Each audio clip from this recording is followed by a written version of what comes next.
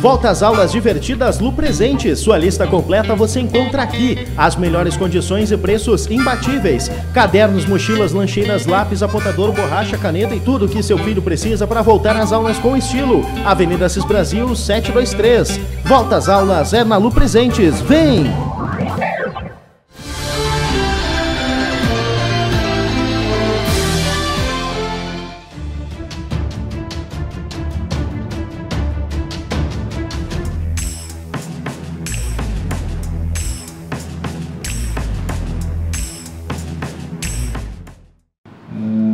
Foi levado isso ao conhecimento do Ministério Público, essa senhora procurou o Ministério Público e a promotoria de lavagem, diante dos primeiros elementos que essa senhora trouxe, que eram comprovantes de cartão de crédito de empresas de diferentes uh, áreas de atuação sendo utilizadas para compra de crédito pela, por esta senhora e naturalmente por diversos outros clientes.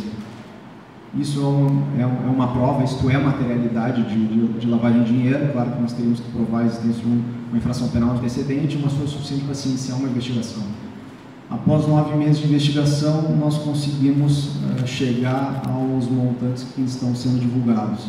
Nós chegamos a uma grande organização que lava dinheiro e composta por diversos indivíduos que exploram o jogo de azar. Uh, essa grande organização, ela tem diferentes camadas, ela parte desde pessoas que são funcionários da alta confiança dos pivôs, os protagonistas da, da organização e que simplesmente emprestam seu nome para o registro de empresas utilizadas para esquentar esse dinheiro e para aquisição de bens, seja o nome dessas empresas, o nome dos próprios funcionários ou familiares, alguns dos laranjas eram familiares.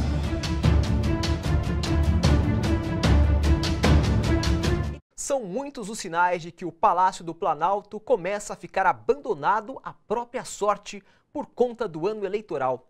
Parlamentares da base governista, em campanha, evitam temas como a reforma da Previdência e as privatizações. Mas Michel Temer, pressionado, ainda insiste. No Congresso, ele quer aprovar a pauta do mercado, com propostas assumidas com empresários, ainda no processo para derrubar a presidenta Dilma Rousseff. Na Justiça, Temer tenta se livrar de dois processos em que é investigado no Supremo Tribunal Federal. Neste fim de semana, ele foi conversar com Carmen Lúcia na residência particular da presidenta do STF. A reportagem é de Welson Kalinowski. A oposição viu com desconfiança o encontro de Michel Temer com a ministra Carmen Lúcia neste final de semana. Isso porque o presidente é investigado em duas frentes no STF no processo da MP dos Portos, onde há suspeita de favorecimento do governo a empresas que atuam no Porto de Santos, Temer teve o sigilo bancário quebrado. Ele também teve o nome incluído em investigação que apura repasses da empreiteira Odebrecht para o MDB. A deputada federal e vice-líder do PT na Câmara, Érica Cocai, entende que o Palácio pressiona e deixa a presidente do Supremo constrangida. É, o atestado de que nós não vivemos uma república.